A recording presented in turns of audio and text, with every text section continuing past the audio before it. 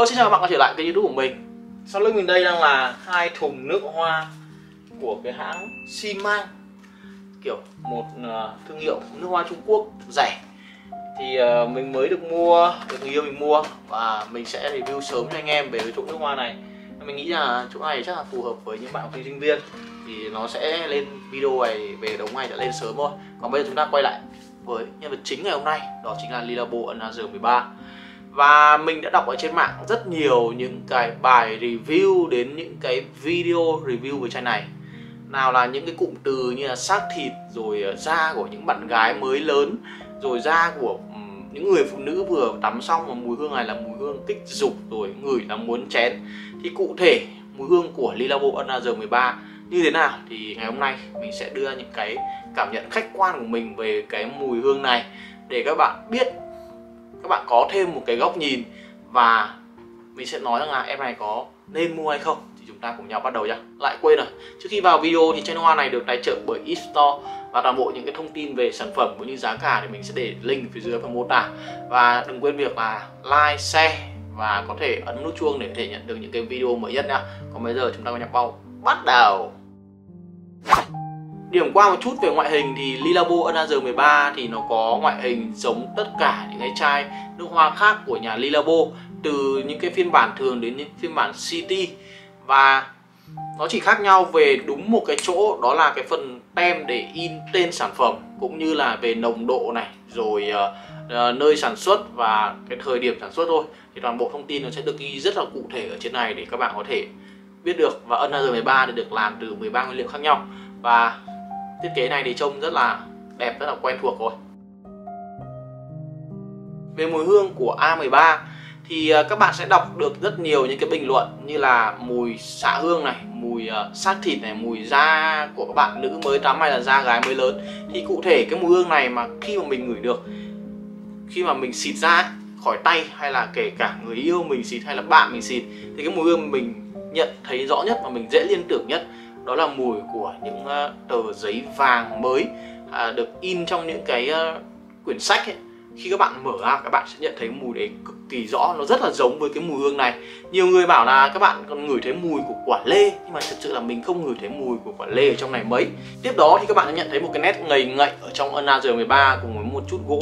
Gỗ ở đây thì ờ, có phần khô và khá là sáng thì tổng hòa đây là một cái mùi hương được blend khá là tốt từ gỗ này từ ờ, uh, Armoxion này rồi một chút hoa một chút uh, uh, xạ và mình nghĩ rằng là đây là một cái điểm mà nó đánh dấu sự thành công của Lilabo Another 13 khi mà nó thực sự là nó blend mùi rất là nhuyễn. Và cái mùi hương các bạn ngửi thấy thì nó cũng rất là định mũi.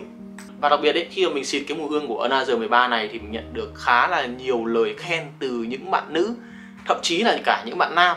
Nhưng các bạn cần cân nhắc những điều này.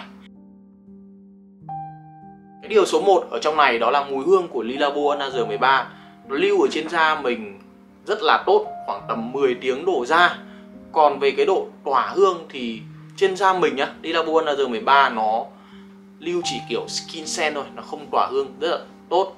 Nên là những bạn nào mà nói câu chuyện là khi mà xịt Another 13 ra thì các bạn không ngửi thấy gì thì mình nghĩ là nó hơi vô lý. Cái này nó sẽ, kiểu, làm cho mọi người khá là hoang mang. Còn cái vế sau của cái câu chuyện là không ngửi cái gì, nhưng mà người khác lại ngửi rất là rõ.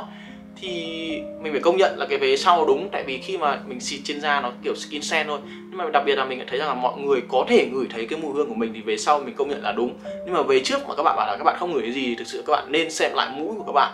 Chứ cái mùi hương này, mình nghĩ rằng là nó không đến mức thần thánh, đến mức là mình không ngửi thấy mà tất cả mọi người mới ngửi thấy. Nói thêm về vấn đề này chai nước hoa này có nốt hương Isoe Super. Nên là với một cái nốt hương như vậy thì uh, nhiều bạn vin vào nó là nó sẽ là một cái mùi hương cái nốt hương làm cho cái mùi hương này có đợt thoát ẩn thoát hiện. Nhưng mà cụ thể về cái nốt hương này như nào thì mình cũng không trải qua trường lớp nên là mình cũng không dám nói quá nhiều. Nhưng có trên da mình như nào mình sẽ nói với các bạn như vậy. Cái điều số 2 ở chai nước hoa này đó là mùi hương này các bạn nên thử trước khi mua, nên thử thật kỹ trước khi mua. Tại vì trên da mình ấy, thì cái nét ngầy ngậy của mình review ban đầu ấy, nó rất là rõ. Cái mùi gỗ nó chỉ được một ban đầu một lúc thôi. Cái nét mà mình thích nhất thì nó chỉ được một lúc ở trên ban đầu ở trên da mình thôi. Còn cái nét ngầy ngậy thì nó sẽ, kiểu, từ đầu đến cuối nó chỉ là cái nét ngây ngậy thôi mà mình, thực sự là nó làm mình hơi đau đầu và hơi chóng mặt.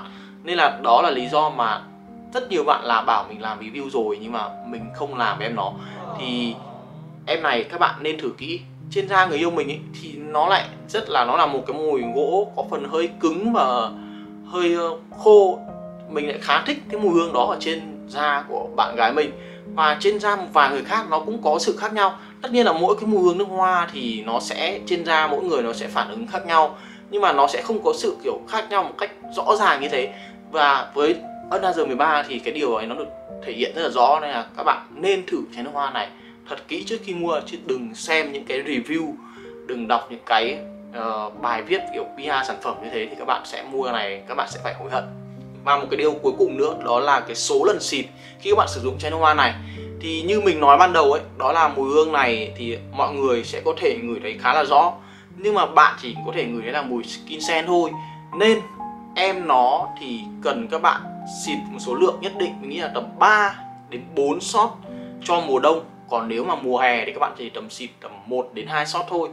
Các bạn không nên xịt quá nhiều, tại vì khi mà các bạn không ngửi thấy thì thường thì chúng ta lại có cái quan điểm là xịt càng nhiều thì có nghĩ rằng là chúng ta có thể ngửi thấy. Nhưng mà thực sự với bạn mình ấy, bạn mình bảo là, ui, gặp con bé nó xịt mùa hè sáu bảy shot, thậm chí là 10 shot vào mùa đông, sáu bảy shot vào mùa hè thì bạn mình mà cũng nhắc đến Another 13 thì bạn mình rất là sợ. Nên là với cái mùi hương này các bạn nên cân nhắc và các bạn nên hỏi những người xung quanh là mình xịt như vậy thì các bạn có ngửi thấy không?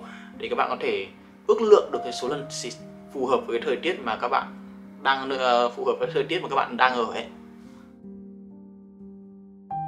À, và với một cái mùi hương như vậy thì nó sẽ phù hợp với độ tuổi và với cái phong cách như nào. Thì mình nghĩ là với một cái mùi hương nó mang kiểu signature scent nó mang tính cá nhân khá là lớn như A13 thì mùi hương này mình nghĩ rằng là nó không giới hạn độ tuổi cũng như là về cái phong cách ăn mặc. Mà mình nghĩ rằng là nếu như các bạn nào mà đã lựa chọn Lilabo và đặc biệt là Another 13 thì các bạn sẽ có những cái gu riêng. Chứ các bạn đừng mua theo cái phong trào, mua theo những cái PR thì sản phẩm này nó sẽ rất là nhanh chán và sẽ, kiểu, để lại một cái ấn tượng xấu cho những cái sản phẩm dòng nít hay là đặc biệt là dòng Lilabo nói riêng. Bên cạnh đó cũng là một cái giá rất là đắt cho một chai nước hoa, nó tầm 5 đến 6 triệu đồng cho 100 ml. Mà khi các bạn bỏ ra một số tiền lớn như vậy thì các bạn mua được cái mùi hương không phù hợp, mình nghĩ rằng là chắc là cũng rất là buồn. Mình biết rằng là có rất nhiều bạn thích chai nước hoa này và có thể là review của mình sẽ nhận được những cái đánh giá nó không được tốt cho lắm. Nhưng mà đây là cảm nhận cá nhân của mình và nếu như các bạn đã sử dụng qua rồi thì các bạn hãy cứ bình luận cái cảm nhận cá nhân của các bạn ở phía dưới cũng như là những cái lời khen của những người xung quanh để mọi người có thêm những cái góc nhìn. Còn đây là góc nhìn cá nhân của mình mình rất mong là các bạn có thể góp ý thêm hay là các bạn có thể đưa ra những cái yêu cầu mình review những cái sản phẩm nào nữa thì cứ hãy bình luận ở bên dưới nhá. Còn bây giờ thì xin chào và hẹn lại. Bye.